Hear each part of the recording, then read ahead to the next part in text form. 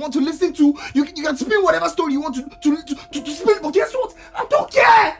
I don't care. Say this one, Papa, they mad me. I do they stop feeding bottle. Hi guys, welcome back to Wako's Review, the only reviewer that you should send money to for his upkeep. You understand? You understand? I have to keep myself upkept, upkept, upkeep. so please, if you are new here, kindly subscribe, turn on post notifications so you'll be notified whenever I post. Like this video, send me money, and also roll it.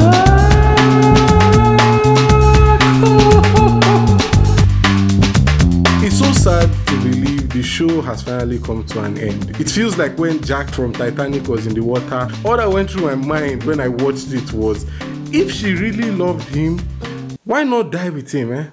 Eh? The last two episodes, which are episode 11 and 12, are here, and I will do my best to explain them in the best possible way. I used best twice. Yeah, yeah.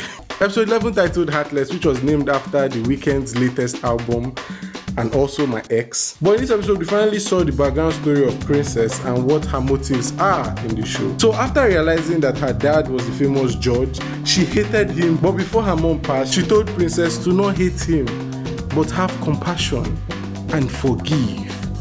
And everything this woman said did not even enter this girl's ear because she wanted revenge. Then we come back to the present day and see Otumba feeling the effect of having his nudes on the internet.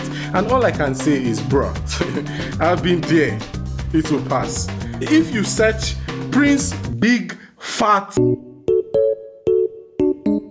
but the person everyone feels and I know orchestrated the whole thing was George. So apparently he wants to now leave the party because he feels he's all alone. Cap.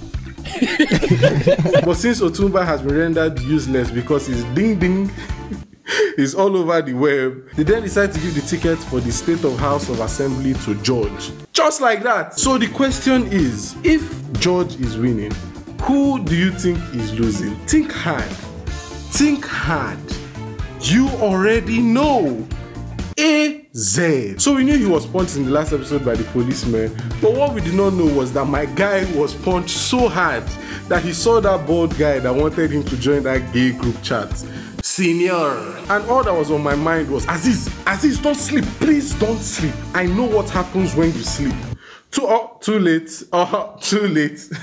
you are for the streets now. She belongs to the streets. But surprisingly, nothing happened, and the next day he went to see his uncle, who then told him to follow him to go see his mom. But after the outing with his uncle, Princess called him, but this time it was different. The music changed to an upbeat, horrific soundtrack. They picked up Cassie, they went to their first location, and then Princess came back and gave him an envelope with money, and they both went to another car. And at this point, I'm like, damn, this sound is low key fire. What? Thank God nothing bad is going to happen to Aziz in this episode. Who has that car? Wait, uh, okay, nice. what did I expect? Zeno Aziz, he attracts punches wherever he goes. The final episode named Highest in the Room, named after Travis Scott's song and my ex. But this is where the show was like, let me explain what has been happening in the previous episodes. But before that, we now need to tell you that for the 30th time, Aziz has been punched, kidnapped, and if that's not enough, he has also been blindfolded. It sounds like something Senior would like. I don't know, it sounds kinky a little bit, you get. But Aziz won't be the only one here, as Cassie was then added to the mix, and even I was confused. Cassie then spoke on how she hates that he did not run away with her, and she obviously is jealous that he only likes Princess. So please, can someone just slap her head? Because that is the least of your problem right now. I don't even know why you care about if he likes this or that. You people are about to get killed. Us, you see what they talk now. If I'm not talking, they go say, Atami Bong don't start, Atami Bong don't start. Then finally, she gave the background story about them.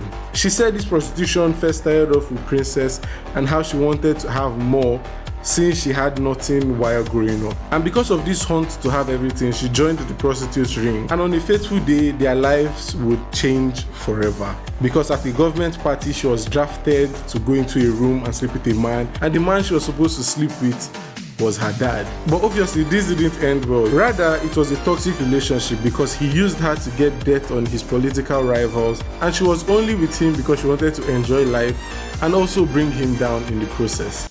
Oh, yes, why she killed her friend was because she wanted to redeem her trust in Otumba since they were still using Otumba. And oh, yes, again, Otumba's son also wants his dad position. Oh, yes, they are also not HIV positive. Oh, yes, how many oh, yes should I say? And as I was watching the show, I realized that I wasn't made for this life. I'm not going to lie, it's too dangerous. I'm not made for it. At the end, all I said was exposed to this man who is apparently a big figure for them. They called him Your Excellency. But the truth was tainted a little to favor Otumba's son. Then this happened. It cannot work. Eh?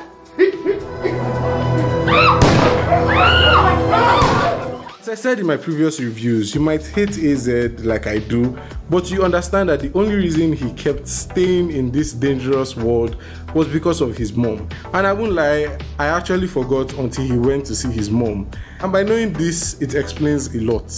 You take a guy who has always been grounded in morals and ethics, and you put him in an environment where he has to do everything he thought he would never do just to save the one person he loves. What this does is it builds this toxic relationship where he definitely wants to leave, but he just has to stay because how else would he save his mom?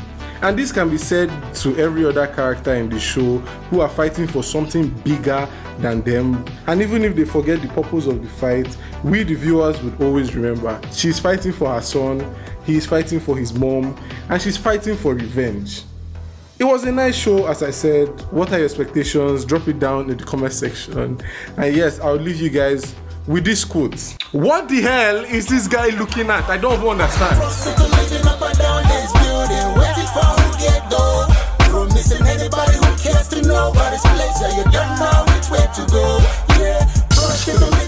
Thank you guys for watching. Oh my goodness. I really liked the last two episodes because it feels like they've been building us up to get to this point where we finally eat. Do you get? It's just like telling me, you can't eat yet. Chill. Wait. and I'm waiting. Then finally, it, you know what? It's better used for marriage, to, but I'm not going to make that example. But you guys already know what it means. Like when you marry, I won't even make that joke. I hope you guys enjoyed. It was nice reviewing every episode. I say every episode, well, every episode that came out. Um, I would love to see a season two. That's if they will make a season two. And yeah, I'll be watching out for them and seeing if they would come out with a season two, or maybe they'll come out with like another version of the show. So yeah, it was very interesting. It was good to see a different light of web series, something we definitely don't see a lot. And yeah, it was nice. All right, we'll catch ourselves for the next one, guys. Bye.